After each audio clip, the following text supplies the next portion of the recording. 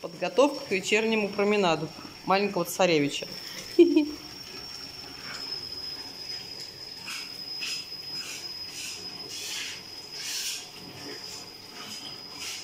Это игрушки. Я говорю, это игрушки. Топоры уберем. Все.